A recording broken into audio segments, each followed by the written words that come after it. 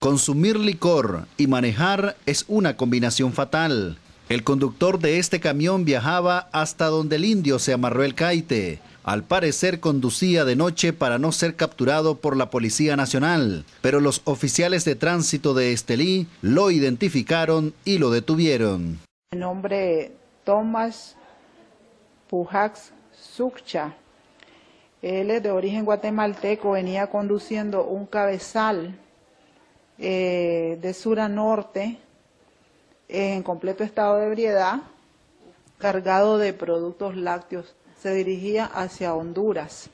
El guatemalteco está detenido en las celdas preventivas de la Policía Nacional de Condega y deberá cumplir con los procedimientos que la ley indica para poder continuar su marcha.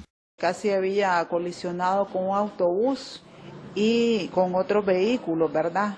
Efectivamente, pues el ciudadano venía en completo estado de ebriedad, ahí, ahí fue retenido, posteriormente trasladado a esta delegación policial donde él este, dijo, manifestó pues que no sabía dónde se encontraba. Se le van a aplicar las 12 horas que establece la ley 431, ¿verdad? Este, la detención por 12 horas por conducir en estado de ebriedad, más la multa. El pasado mes de marzo del presente año fueron detenidos varios conductores de cabezales hondureños por conducir en estado de ebriedad. Invitamos a la población a denunciarlos cuando los observen salir de cantinas, bares o discotecas y luego conducir porque así evitaremos muertes por accidentes de tránsito.